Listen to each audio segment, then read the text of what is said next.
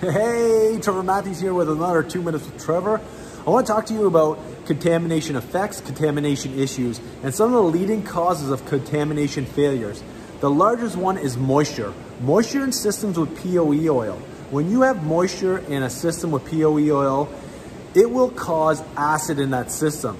And over time, it's gonna start to eat at the winding and lead to a compressor failure. This does not happen overnight, but it starts from the day one of the installation. Day one. But the failure could happen four months, six months, two years because of that day one installation. So you need to be aware of this. When you pull off a head or cut open a scroll, you will see something that looks like copper in that compressor. And we call that copper plating.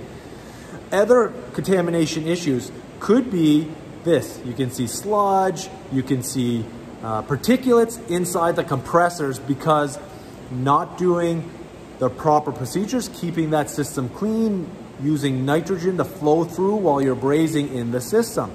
As well as here's a great example of copper plating.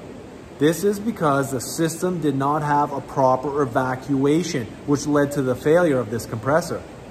So what do I do, Trevor? What do I what do I have to do? Well, anytime you open the system, you need to replace the filter dryer. Add a new EK filter dryer, clean that system up, pull out any moisture in there.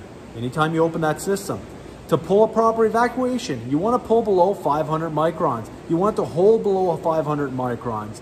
And you want to follow the manufacturer spec. I'm going to put in the description a great video from Bryan Orr HVAC School. And you can check out a full video of how to pull a proper evacuation on an AC system. Also, if you have a motor burn, how do I clean up that system? Well, Emerson has a great AE bulletin that I'll put in the description that you can check out. I'd love to hear your comments or questions. My name is Trevor Matthews. Let's get a conversation going.